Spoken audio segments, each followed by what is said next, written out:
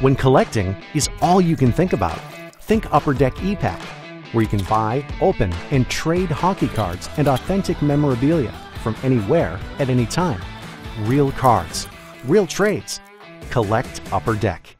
All right, David, it's Upper Deck Player Spotlight time. Again, brought to you by our very good friends over at Upper Deck. Make sure you check them out. And for all our Upper Deck Player Spotlights, head on over to thefourthperiod.com. All right, let's get into it. We're spotlighting a couple players, but we're talking about their futures in mind here. So let's start in Chicago and Patrick Kane.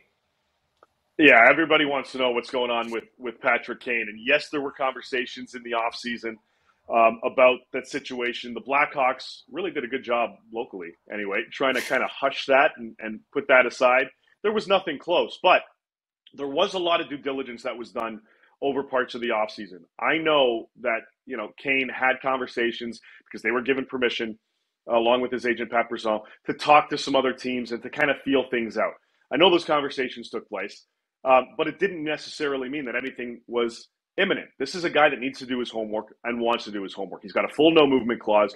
They're going to reconvene once we get a few months into the season to really decide what he wants to do. Where does he want to potentially end up? He has that full move, as I mentioned, so he will dictate where he wants to go. But of the teams that have expressed interest in him, they're just sitting back waiting as well. So really, it comes down to when Patrick Kane is ready to make that decision. The New York Rangers, the New York Islanders, the Dallas Stars, Columbus Blue Jackets. There are a ton of other teams, the Leafs, the Oilers, and so on, that would love to get their hands on Patrick Kane. It really is going to come down to where he will ultimately want to go. Is he going to go the Claude Giroux route and give him two teams, or is he going to expand on that list? That's his right. He can do what he wants. So, you know, for now, we'll temper things, and we should uh, because it's not going to get until we get kind of around the new year when he ultimately decides, you know, okay, I think I want to go in this direction. But has due diligence been done?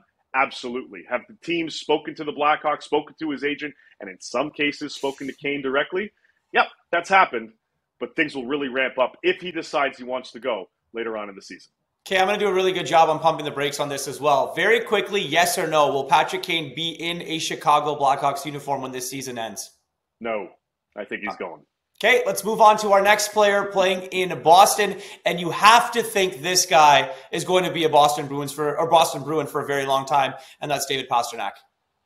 Well, if the Boston Bruins give him 11 million bucks a season or more, then yes, he definitely will.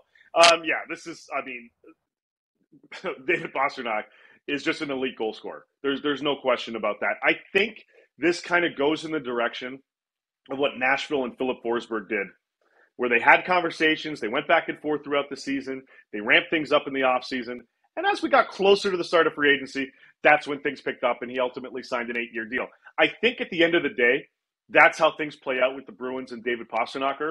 But I mean, ultimately, we'll wait and see. He's focusing on hockey. He's letting his reps handle that negotiation. If talks pick up this week, beautiful. If they pick up in March, cool.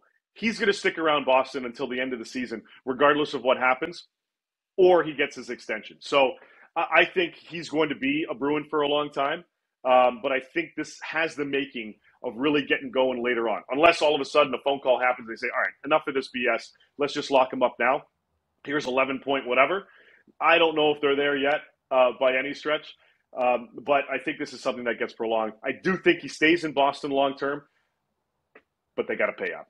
Yeah, one of my favorite things when it comes to hockey and player negotiations is contract year and enter blank player's name because you know that they're going to have a big season and drive that price right up. David, thank you very much for this. As always, Upper Deck Player Spotlight here on the fourth period, brought to you by Upper Deck.